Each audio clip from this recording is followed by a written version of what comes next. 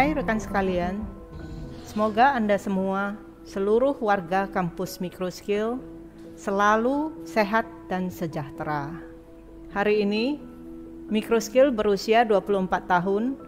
Usia 24 tahun adalah usia menapak kematangan. Oleh karena itu, saya hendak menyampaikan tiga hal penting dalam kesempatan ini. Pertama, saya menyadari betapa pentingnya kita punya growth mindset, pola pikir untuk selalu berkembang. Orang dengan growth mindset tidak statis, kemarin begini, hari ini begini, besoknya juga begini-begini saja.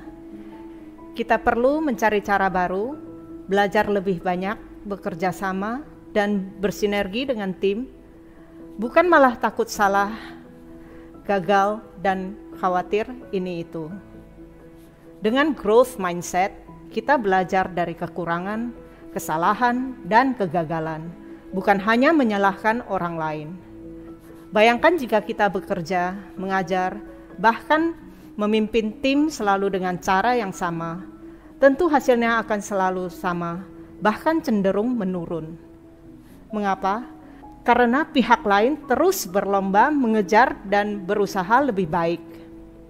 Sehubungan dengan itu, saat ini kita sedang dalam proses berkembang menggabungkan STMIC Microskill dan STIE Microskill menjadi Universitas Microskill serta menambah program studi baru S1 Teknologi Informasi. Semoga Universitas Microskill segera terwujud sebelum tahun akademik baru. Moto Microskill berwawasan ke depan, mengubah tantangan menjadi peluang adalah wujud dari growth mindset itu sendiri. Tahukah Anda, moto kita saat ini malah sering digaungkan banyak organisasi dan perusahaan, bahkan dalam berbagai acara virtual. Sekalipun dalam masa sulit, microskill perlu terus berkembang melampaui standar nasional pendidikan tinggi dan mengimplementasikan kampus merdeka lebih baik lagi. Kedua, saya melihat perlu mengimbau kembali agar kita proaktif menjaga kesehatan. Proaktif artinya mampu berinisiatif dan mampu memanfaatkan sumber daya. Mari melakukan 5M dan berupaya tidak lengah karena alasan makan minum kegiatan kerja yang mengharuskan kehadiran secara fisik, rapat dan lainnya dengan satu memakai masker yang memenuhi syarat tentunya, dua mencuci tangan, tiga menjaga jarak, empat menjauhi kerumunan, lima membatasi mobilisasi dan interaksi. Kita melakukan 5M bukan sekedar mematuhi peraturan atau atasan, bukan karena rasa takut yang berlebihan, melainkan karena inisiatif melindungi diri sendiri, keluarga, rekan kerja, dan juga orang lain di sekitar.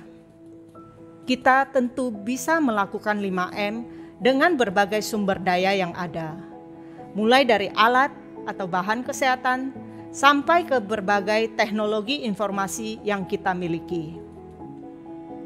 Selain 5M, kita perlu melakukan 3K.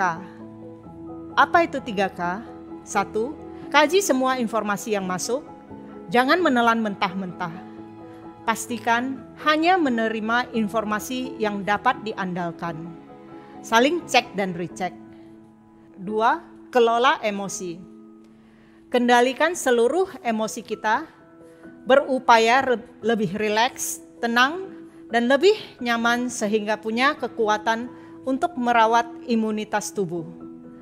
Dalam satu tim atau sesama rekan kerja, ayo biasakan kegiatan virtual, ngobrol virtual, bercengkrama virtual, curhat virtual, menjenguk secara virtual teman yang sakit bahkan terkena COVID. Tiga, kembangkan sumber daya Cari hobi atau kegiatan yang menyenangkan, sumber daya tersedia di sekeliling kita untuk membantu kita lebih baik, lebih sehat, dan lebih mampu menghadapi situasi sulit ini. Keluarga, rekan kerja, teman satu tim adalah contoh sumber daya yang begitu bermanfaat.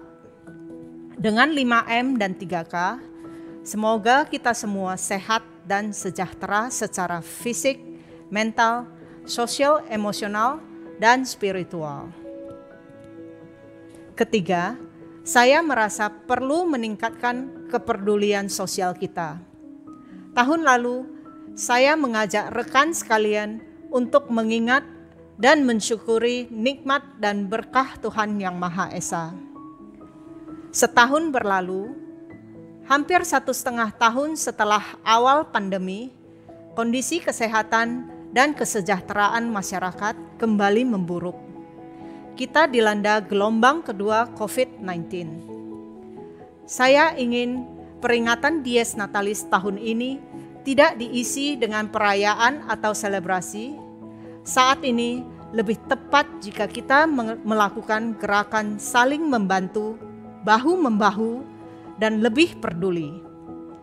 Mulai hari ini, tanggal 1 Agustus 2021, saya berharap segenap warga kampus, baik dosen maupun tenaga kependidikan, mikroskill, lebih peduli kepada sesama warga kampus kita dan tentu juga kepada masyarakat di lingkungan sekitar tempat tinggal kita yang sedang mengisolasi diri. Yayasan akan berkomitmen dalam pendanaan gerakan mikroskill peduli ini. Kita berharap gerakan ini berkembang dan melibatkan para alumni serta relasi secara inklusif. Kepedulian bisa berupa berbagai terobosan teknologi, pemikiran, waktu, tenaga, dan dana. Kehadiran mikroskill tentu dapat memberikan makna bagi masyarakat. Demikian harapan Yayasan Bina Pertiwi Medan Selamat ulang tahun Microskill. Semoga semua rencana baik kita dalam masa-masa sulit ini diperkenankan oleh Yang Maha Kuasa. thank you